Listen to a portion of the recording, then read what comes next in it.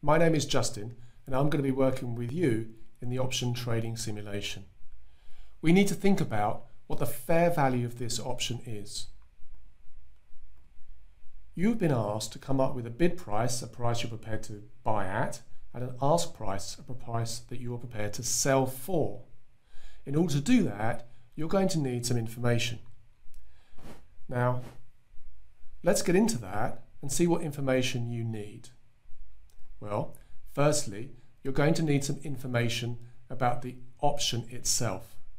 What is the underlying asset? In this case, it's an equity called MDA Inc. What is the strike price? In this case, it's 100. We have the right to buy. It's a call option for 100. And what is the term? Well, it's four years. We also need some information from the market. MDA Inc. is currently trading at a price of 100. So this is an at the money option. And to price an option, you need to make some assumptions about the probability distribution for future returns and prices. And we are assuming that that distribution is uniform, anywhere from minus 10% to plus 10% each year.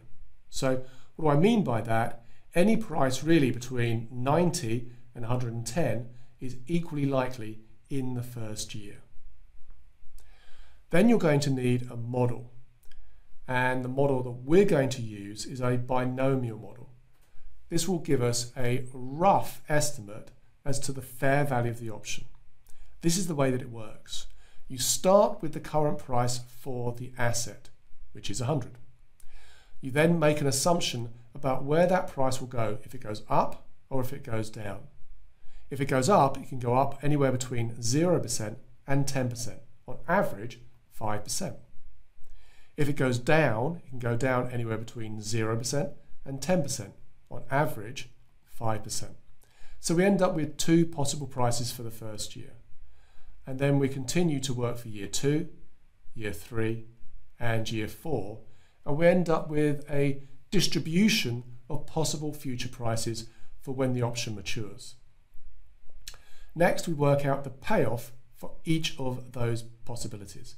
If the price goes to 120, the payoff is 20. We can buy the stock for 100, uh, it's worth 120, our gain is 20. If the stock goes to 110 and we can buy it for 100, we make a profit of 10. If the stock stays at around 100, we don't make a profit or a loss. And if the stock price falls, we simply do not exercise the option. Next, we need to think about how likely is each of those scenarios. How likely is the stock price to go up each year for four years? Well, you might realize there's 16 possible paths. 2 times 2 times 2 times 2. That's 16. And only one of those leads to the price of 120. So we've got a 1 in 16 chance of hitting that maximum price. 4 out of the 16 paths lead to 110. So we've got a 4 in 16 chance of hitting 110 and making a profit of 10. Six of the paths lead to 100, and the other paths lead to either 90 or 80, where we wouldn't exercise the option. Finally, we can work out the expected payoff. How much would we make on average if we owned this option? Well, 1 out of 16 times we make 20, that's worth 125. 4 times in 16 we'd make 10, that's worth 250 and then in every other scenario we make zero. So on average we make 375. So if we were buying this option we would want to make sure that we bought it for less than 375, the average profit that we would make by owning it. If we sold this option, the person that we sold it to would on average make 375 from us, so we want to make sure our ask price is higher than 375 and our bid is a little bit lower than 375. Now you can improve on this model.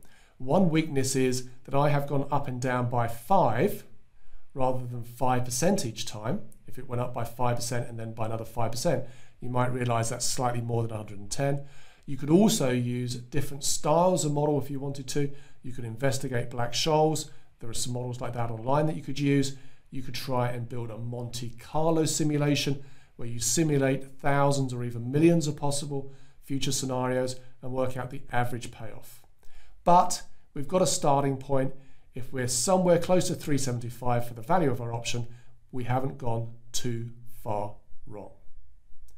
So I hope that is useful for you and I wish you the best of luck in round one and the following rounds in the option trading sim.